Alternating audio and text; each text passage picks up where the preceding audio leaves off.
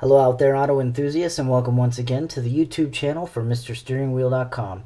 Today what we've got for you is the Momo Mod 8 steering wheel. Now this particular model that we have here has the black interior finish and we have the suede on the grip but this wheel is also available in a leather grip and you can get it with the blue interior if you want just to match some of the uh, interior designs that you have in your car. As you can see it comes with the regular Momo Italy horn button here and all necessary components for installation.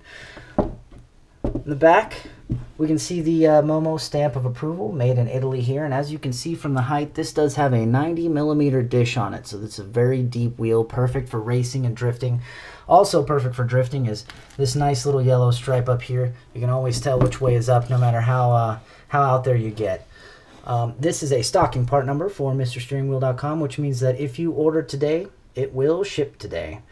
Please like, subscribe to our YouTube channel, and feel free to leave any comments below for any other products that you might want to see, and we'll be happy to post them up for you. Thank you so much for joining us today, and we'll see you at MrSteeringWheel.com.